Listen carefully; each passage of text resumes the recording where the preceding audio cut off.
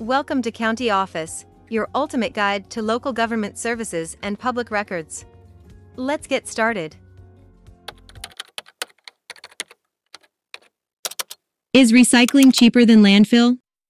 Let's dive into the world of waste management, shall we? When you toss a plastic bottle into a recycling bin, have you ever wondered if it's more cost-effective than sending it to a landfill? It's a valid question, and the answer might surprise you. The cost of recycling versus landfilling can vary greatly depending on various factors. These include the type of material, local tipping fees, and the regional market for recyclables.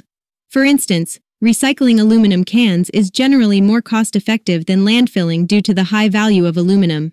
However, it's not always about the immediate financial cost.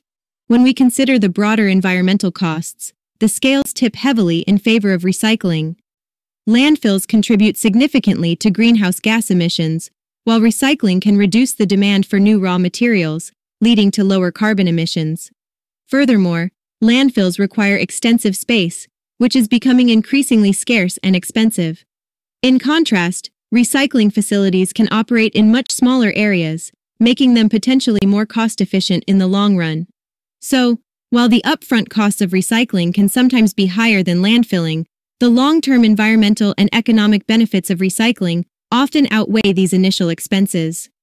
Remember, when it comes to waste management, the cheapest option isn't always the best for our planet.